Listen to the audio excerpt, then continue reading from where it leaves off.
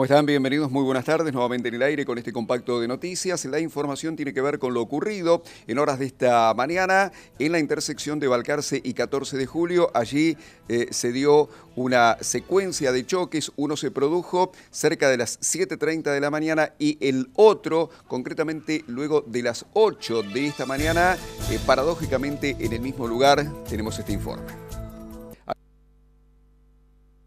Ocurrido en horas de esta mañana, también el camión de bomberos. Cerca de las 7.30 de esta mañana se produce entonces eh, un choque y vuelco que bueno, protagonizaron dos vehículos en este lugar de la ciudad de Mar del Plata. De acuerdo a lo que dice la información, debieron intervenir en esta oportunidad eh, también, bueno, eh, gente de eh, las ambulancias de nuestra ciudad para tratar de socorrer a personas que en este caso podrían haber sufrido algún golpe. Allí se ve también personal de tránsito. Esto era lo que ocurría después de las 7.30 de esta mañana entonces en este lugar pero lo que se desconocía hasta el momento, que esto era solo el eh, comienzo de un doble hecho de tránsito que se produciría después de las 8 de la mañana. Allí uno de los vehículos eh, que está con sus ruedas eh, prácticamente para arriba, chocó y volcó, el otro vehículo en cuestión. Esto en esta intersección de estas calles, entonces, Valcarce y 14 de julio de nuestra ciudad. Allí gente que se había acercado también, la intervención de, la policía y muchos vecinos que trataban de observar o de eh, comparar concretamente eh, lo fuerte del impacto y sus consecuencias en esta oportunidad desde otro ángulo. También la, la imagen, en este caso, de cómo quedó otro de los vehículos en cuestión, el de mayor porte, y allí una mujer, bueno, que venía manejando uno de los vehículos. Participaron en este caso también los bomberos de la ciudad de Mar del Plata en una mañana soleada, en un escenario que pintaba en principio como para que fuera este el único hecho de tránsito que hasta ese momento se había producido. Vamos al testimonio recogido por un equipo de Canal 2 Noticias con la conductora de uno de los vehículos de la Surán en esta oportunidad que contaba, relataba lo ocurrido hasta ese momento.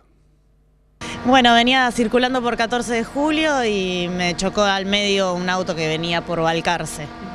¿Este impacto provocó que tienes vuelta? Sí, volcamos, volcamos, iba con mi hija, la llevaba al colegio y, volcamos. Por suerte llevábamos cinturón de seguridad y, no nos pasó nada, no tuvimos ningún tipo de, daño. recibieron asistencia médica en el lugar? Eh, vino la ambulancia, nos revisó por las dudas, por si había algún tipo de, lesión, pero no, no tenemos nada. Lo la importancia, ¿no? De contar siempre la utilización de lo que es el cinturón de seguridad. Sí, sí, sí. Yo no salgo antes, no arranco el auto si no me pongo el cinturón de seguridad. Eso es primordial. ¿Tanto el otro conductor, sabes cómo está? Creo que bien, sí, creo que bien, que está bien. ¿Venían fuerte? Eh, nosotros no. el otro auto sí vino bastante fuerte, de hecho no pudo, no pudo frenar por eso nos impactó. Celeste, lo llamativo es que 20 minutos más tarde ocurre otro accidente en el mismo lugar. Sí, atrás nuestro, un susto, volvieron a chocar.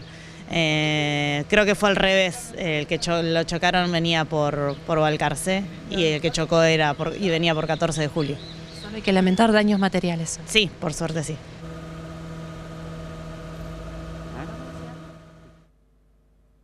Bien, hasta ahí estaba el primero de los choques en el día de hoy, 7.30 de la mañana. Aparentemente había ocurrido en horario cercano, eh, concretamente eh, cuando se produce esta colisión con choque y vuelto violento, por cierto, por lo rápido que vendría algunos de los vehículos involucrados. Pero minutos después de las 8 de la mañana, 8.20 aproximadamente, cuando ya se estaba contando ante los distintos medios de comunicación radiales en esta oportunidad lo que ocurría, eh, dos cronistas, en el caso de Néstor Gambini y de Alberto Mena, bueno, es como que nacieron prácticamente de vuelta y afortunadamente lo pudieron contar porque a muy escasos metros de donde estaban ubicados, contando eh, lo que había ocurrido eh, en una nota que de pronto puede llegar a ser una nota más de otro hecho de tránsito, bueno, otro choque se produce y por suerte lo pudieron contar. Esto nos decían. Como tantas mañanas con, con Néstor Gambini y, varios colegas acudimos a cubrir accidentes de tránsito. 14 de julio Valcarce, estábamos dialogando con una de las protagonistas de un choque y vuelco de hace una hora aproximadamente y cuando estábamos terminando de hacer la nota, eh, yo estaba al aire relatando lo que había pasado y siento un golpe, estaba de espaldas a la esquina y veo pasar a menos de, un metro mío la cola de un auto que iba haciendo trompo, a veces un auto que había sido investido por otro, un accidente, prácticamente igual al anterior. Lo único que nos pasó a, menos de, un metro, Néstor estaba al lado mío, así que no tuvimos ni tiempo de asustarnos. ¿Néstor Gamini volvieron a nacer? Mira, yo ni me di cuenta en ese momento, porque lo estaba escuchando a Beto que estaba en el aire y yo estaba tomando las patentes de los coches porque para hacer el informe correspondiente. Y ahí sentimos el ruido y vimos este, la parte trasera del coche del Corsa que nos pasó a menos de un metro. Este, y en ese momento Beto estaba en el aire y lo pudo contar.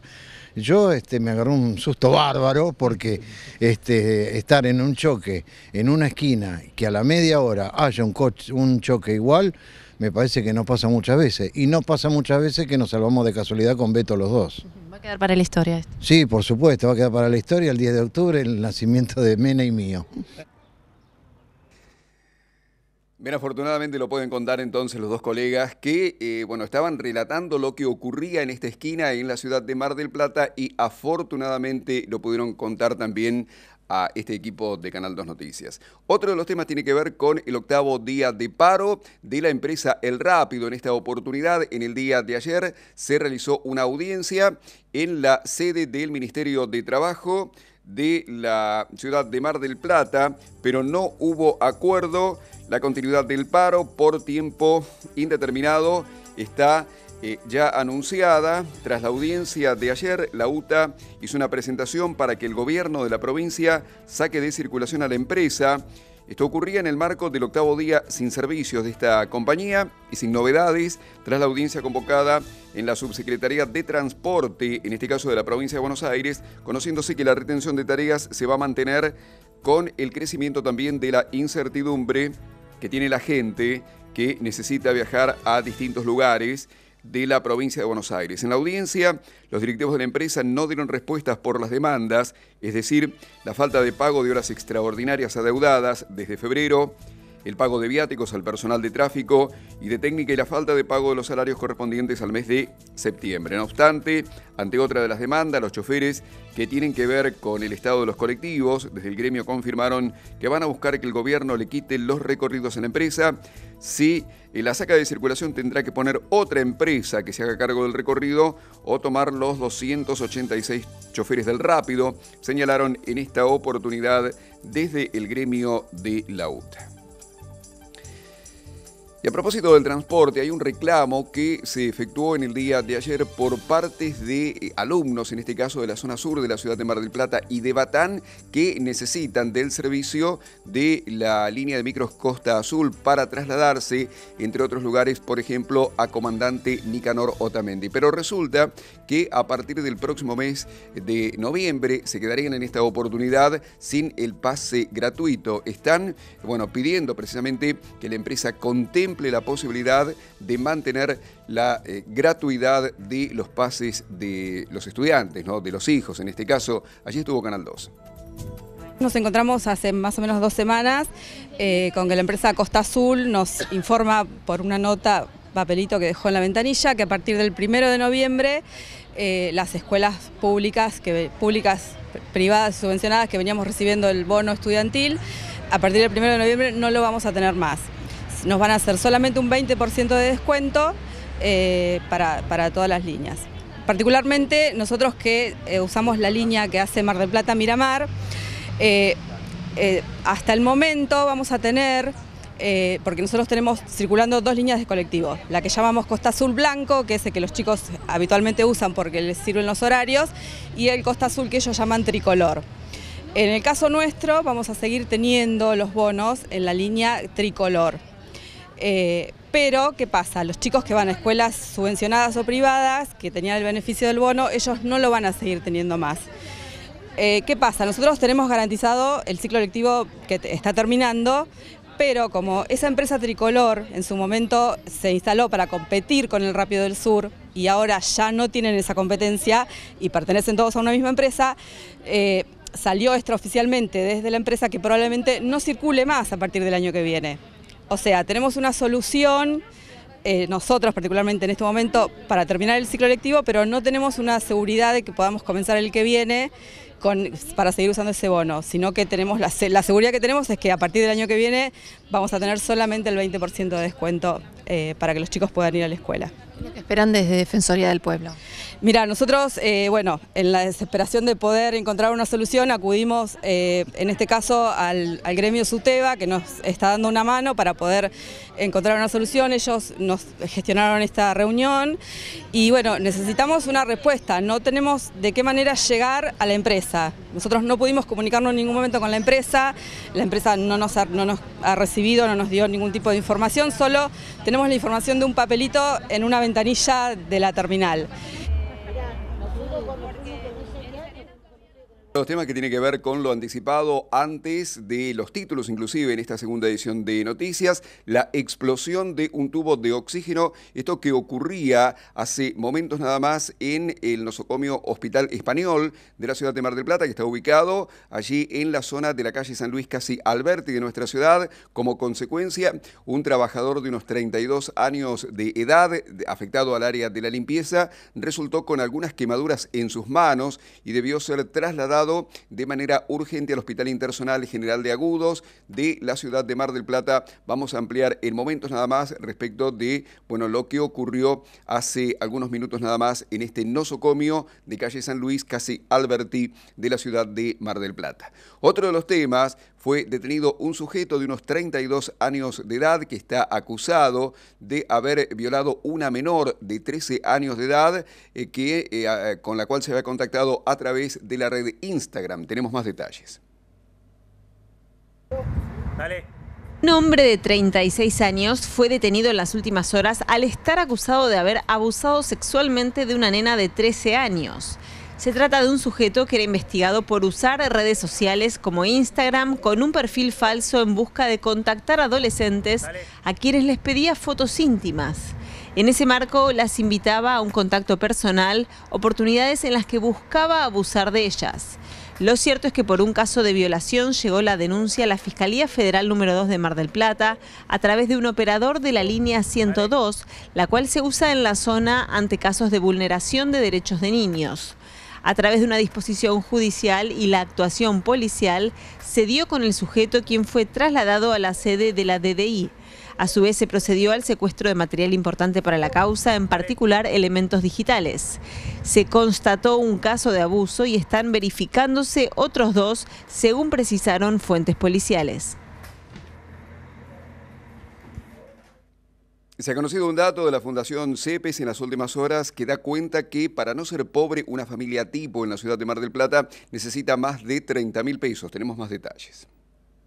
En la medición que realizamos a fines del mes de septiembre, los últimos días que corresponden a los valores de ese mes, eh, tal como venimos haciendo desde marzo del 2016, eh, tenemos el costo de lo que es la canasta básica alimentaria, para una familia tipo, que como siempre explico, es la familia que se toma como referencia, y la canasta básica total, eh, que es también para esta misma familia. La primera es la referencia para después estimar la cantidad de personas o hogares pobres, es decir, la línea de indigencia, y la segunda para estimar la pobreza.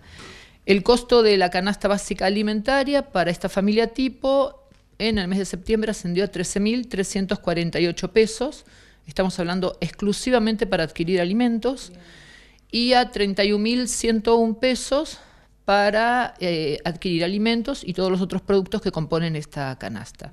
Siempre hablando de esta familia tipo. Ambas canastas de agosto a septiembre registraron un incremento del 3,17%. En lo que va del año, ¿cuál es el acumulativo? En lo que va del año, en el caso de la canasta básica alimentaria, eh, casi un 28%, y en la canasta básica total eh, superó el 30%. Eso en lo que va del año. Si tomamos el interanual, es decir, los últimos 12 meses, eh, la canasta básica alimentaria roza el 44% y la canasta básica total casi el 57%. Claudia, ¿qué otros datos relevantes han podido sacar de este informe? Sabemos que también han investigado lo que ocurre con los alimentos sin IVA. Sí, em, la canasta básica eh, tiene un grupo de alimentos que son los que fueron alcanzados por la medida del IVA cero o la, quita del IVA. Eh, nosotros eh, hacemos siempre el, relevamiento a fin de mes, por tanto, el relevamiento que hicimos a fines de agosto em, correspondió a un momento post implementación de esta medida. y el que hicimos en septiembre ya más de un mes respecto de cuando, en teoría, se aplicó el IVA cero. Vamos con otro de los temas que tiene que ver en esta oportunidad con la evolución hasta la jornada de ayer de esta nenita de nueve años que fue atacada por tres perros pitbull que le produjeron heridas gravísimas realmente en su rostro, que fue operada en el hospital materno infantil de nuestra ciudad. ¿Qué dicen desde el municipio local en este sentido y cuál es, bueno, eh, la tarea que tienen de aquí en más para con estos perros peligrosos? Escuchemos este testimonio perro pitbull de un vecino en la casa que se escaparon con otros tres perros. Este, eh, fue, fue atacado una niña de nueve años que está en el materno infantil internada. Hubo un llamado al 107, el SAME, y, a 911 eh, lo, llevó al materno una, este, un patrullero. Y bueno, por suerte estuvimos hasta, última hora con la nena en el materno, en el hospital. Este, ya fue operada ayer a la tarde por cirujano plástico el cirujano del, hospital, está respondiendo muy bien, pero bueno, tuvo una herida importante en la cara, ¿no? Así que este, este, este momento está con tratamiento, antibiótico, eh, eh, las vacunas correspondientes y bueno, estamos acercando las, las este, vacunas para el tratamiento antirrábico. ¿La mordida fue en uno de sus pómulos? Sí, sí, uno de sus pómulos, bien, bien, bien claro en la, en la cara, arrancó con una, con una fuerza, bueno, son perros que tienen una gran fuerza en su mandíbula. ¿no? Decía que eran tres perros, solo ha tocado uno y los otros dos. sí, la dueña o el dueño tenían tres perros en la casa y justo cuando salían este, abrieron una puerta y se escaparon. Ahora, este, desde ayer que lo estamos buscando con, Defensa Civil, este, Sonosis y nos está ayudando todo el área de la municipalidad para encontrarlo. Uno ya lo recuperamos, eh, va a quedar en Sonosis en control por lo menos durante un mes para ver qué, pasa y bueno, estamos en búsqueda de los otros. ¿no? Doctor, se han registrado muchísimos casos de mordeduras de perros. Eh, ¿Cómo se está trabajando con respecto a esta situación? Sí, sí, sí. En realidad nosotros tenemos ordenanzas. Este, eh, hay dos ordenanzas claras en la municipalidad y tenemos una, este, un, este, una orden, se puede decir, del intendente que ha trabajado mucho con el tema de zoonosis. Este, eh, estamos teniendo reuniones con, tuvimos ya hace, incluso hemos invitado a, la Fiscalía del Doctoral que estuvo con nosotros reunidos para que nos den una, mano con este tema porque este, hay dos ordenanzas claras que son tenencia responsable y la otra ordenanza que es este, tenencia de perros peligrosos que eh, dicen claramente qué es lo que se tiene que hacer, cómo se debe trabajar con, con los perros. Ya esta persona digamos que eh, en una casa, en un domicilio, más de dos perros peligrosos no se puede tener, tenía tres, ahora vamos a averiguar en qué condiciones estaban. La actividad informativa desde Canal 2 Noticias para todos ustedes. Lamentablemente han robado las bicicletas de mountain bike de los chicos de la provincia de Neuquén que están participando a través de su delegación de los Juegos Evita aquí en la ciudad de Mar del Plata que reúne aproximadamente 20.000 jóvenes de distintos lugares de la República Argentina. Aparentemente se las habrían llevado desde el mismo hotel donde están alojados. Más detalles. Sufrimos la sustracción de cinco bicicletas de acá del gimnasio del hotel, eh, tres bicicletas de montaña eh, y dos bicicletas de ruta. En el, fue en el lapso de la noche entre las once y media y 7 de la mañana más o menos. ¿Y estas bicicletas las utilizaban para competir? Exacto, las, eh, las cinco bicicletas eran bicicletas de, de competición. ¿Cómo se dieron cuenta? ¿Al momento de ir a buscarlas ya no estaban? Sí, eh, en el momento en que fueron a buscar las primeras bicicletas que salían para competir esta mañana, eh, notamos, el, notamos la rotura de la, de la puerta, de la reja de la puerta, y mm, el faltante de, estas bicicletas, después de hacer el recuento de todas, porque son varias las que estaban en ese lugar. ¿Hicieron la denuncia? Está hecha la denuncia, eh, policía cuenta con fotografías de tres de las al menos tres de las que sustrajeron. Eh, y bueno, contamos con el apoyo de mucha gente de acá de Mar del Plata, gente muy solidaria, que hasta les permitió a los chicos eh, competir hoy a pesar de no tener sus bicis. Alfredo, ¿cómo fue que pudieron competir, bueno, sin las bicis de ustedes? Ah. Y costó mucho, sí. Yo sinceramente no pude seguir, no me dio la, el ánimo y re feo. ¿La disciplina es mountain bike? Mountain bike. ¿Y qué sentiste vos cuando te enteraste, bueno, de esta noticia de que les habían sustraído las bicicletas? Y yo me sentí re mal. Aparte, la bicicleta no era mía, era de los profesores. Y perder algo que no es mío me dolió. Eh, Facundo, ¿cómo fue el camino hasta llegar aquí a la final Mar del Plata? Y fue un camino duro, peleador. Y nada, una lástima lo que pasó con las bicis. Y bueno, ahora habrá que seguir para adelante.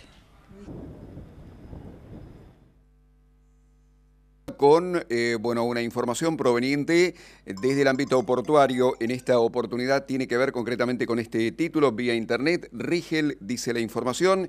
El juez Geral autorizó el descenso de buzos para rescatar cuerpos. El oficio del magistrado ocurre durante horas en las cuales los familiares de los tripulantes desaparecidos se movilizaron en la ciudad de Rawson, dice la información. Otro de los temas es que avanza en estos momentos en el HSD un pedido por el aumento en la tarifa de taxis y de remises de la ciudad de Mar del Plata. Tenemos más detalles.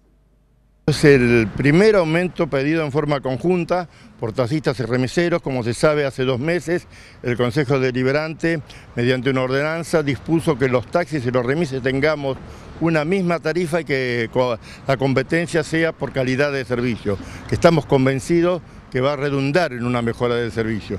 Bueno, esta es la primera vez que lo presentamos en conjunto, en el mismo porcentaje, y es ah, para aclarar que eh, seguirá siendo iguales eh, la tarifa de taxis y remises. Bueno, está en la primera instancia, pasó por la Comisión de Transporte, que pedirá un informe al Poder Ejecutivo para que haga un informe, un estudio paralelo, eh, comparativo, y seguramente esperemos que pueda tener esa tarifa un tratamiento antes de diciembre, que en la primera de diciembre eh, podamos tenerlo ya en validez. Es importante remarcar que el aumento que nos daba el, costo, el estudio de costo nos daba el 56%, que va a estar en línea con la inflación real que va a tener durante todo el año y solamente se, se consensuó eh, pedir un 28,5% en línea también con otros sectores que han manifestado eh, que van a pedir solamente con respecto al año anterior un 30%, como el sector de los balnearios, de los alquileres gastronómicos, para poder atraer a un turismo en un año que ha sido muy difícil económicamente y por lo tanto eh, no mucha gente ha podido ahorrar para poder salir de vacaciones. Así que queremos que si todos los sectores hacemos un esfuerzo de tratar de no eh, lograr eh, que las tarifas aumenten mucho, podemos tener una temporada aceptable y poner en marcha una rueda que en Mar del Plata está muy paralizada. Bien, y más adelante este referente de los taxistas se refirió a la lucha que mantuvieron oportunamente eh, con Uber o contra Uber en esta oportunidad también en la ciudad autónoma de Buenos Aires y destacó lo ocurrido aquí en Mar del Plata para que finalmente la plataforma no desembarque. Más detalles. La lucha que hemos llevado a cabo el año pasado, fundamentalmente basado en la no violencia, porque esa es la publicidad que busca Uber, y yo también le agradecía y los felicitaba a ellos porque hoy vi muchos taxis parados eh, en Capital Federal y también vi que no había violencia. Lo mismo que charlamos continuamente con los compañeros, con los colegas de Córdoba, eh, la lucha contra Uber debe ser basada en la legalidad, pero insisto, jamás en la violencia porque es un, un artilugio que usa Uber en todo el mundo como forma de publicidad. Se cumple ya un año acá en Mar del Plata, bueno, del comienzo de la lucha en este sentido. Exactamente, hace un año eh, fueron las primeras reuniones, eh, fue la primera reunión de sectores que eh, realmente éramos antagónicos, parecíamos que con los remiseros, con los autos rurales, autos rurales no nos podíamos juntar. Eh, bueno, pusimos el caballo delante del carro, sabíamos que la pelea era contra una multinacional como Uber muy poderosa económicamente y bueno, los resultados están a la vista. Después de un año Uber no funciona en Mar del Plata, estamos para, preparados por si quiere volver a desembarcar eh, este verano pero estamos mucho más organizados y seguramente eh, también con mucha más gente detrás. Vamos a compartir algunos detalles respecto de lo que fue concretamente un seminario muy activo con capacitaciones gratis en este sentido eh, para personas que pertenecen al gremio de la industria textil. Más detalles. Nosotros estamos participando del seminario Marplatense Activo, eh, haciendo un aporte de, eh, desde la Asociación de Confeccionistas y Afines de Mar del Plata y también desde el Instituto Superior de Diseño Paladio, eh, en donde vamos a hacer el aporte desde los textiles, desde los avíos y desde lo que es el control de calidad de, del producto marplatense textil e indumentaria. ¿Cómo se encuentra esta industria en Mar del Plata que sabemos que le da trabajo a muchas personas? Sí, bueno, es una época muy difícil en donde este, hay que buscar por el lado de la creatividad, de la innovación, la diferenciación del producto, el diseño. Creo que eso es lo que lo que más eh, nos puede diferenciar y enaltecer la industria. Hay muchos emprendedores, eh, muchos este, pequeños empresarios que ya están trabajando desde ese lugar. Eh, también todo lo que tiene que ver con lo sostenible, lo sustentable, empezar a cambiar un poco los paradigmas. Este, así que bueno, Mar del Plata no es ajena a eso y creo que por ahí es donde se va a encontrar el, el rumbo. Mira, ¿qué importancia tiene todo lo que hace a la capacitación constante? Y mira, desde que uno es formado, ya sea el área donde está formado, la capacitación continua es clave para estar actualizado, para estar ayornado. Esto bien que te decía Carla en relación a a la sustentabilidad tiene que ver con este cambio constante que, de nuestro entorno que como profesionales tenemos que estar capacitados a poder responder con productos adecuados y indicados en relación a esta temática. Y desde el textil y la indumentaria eh, sabemos que es una de las industrias más contaminantes del mundo, entonces es una misión muy importante, ya sea desde la formación de diseñadores como de capacitación continua de profesionales que están en el medio. Pronóstico del tiempo para Mar del Plata y zona con la información suministrada desde el Servicio Meteorológico Nacional para el resto de esta jornada, 25 de máxima, en una jornada que amaneció con cielo despejado por la mañana y se anticipan, bueno, probables lluvias y tormentas para el resto de esta jornada algunas de intensidad, abundante precipitación en cortos periodos de tiempo, ráfagas y también ocasional caída de granizo, condiciones que van a comenzar a mejorar a partir de la noche con el desplazamiento de un sistema hacia el sector noreste. Para el día de mañana viernes se prevé una temperatura mínima que va a rondar los 14 grados y una máxima de 24, el sábado 15 de mínima, 23 de máxima, parcialmente nublado, y el domingo 12 de mínima, 16 de máxima, con cielo algo nublado. Gracias por habernos acompañado. Nos vamos. El reencuentro luego a partir de la hora 19 con el tercer momento informativo del día. Si Dios así lo permite, muy amables. Gracias otra vez en nombre de todos. Será hasta entonces.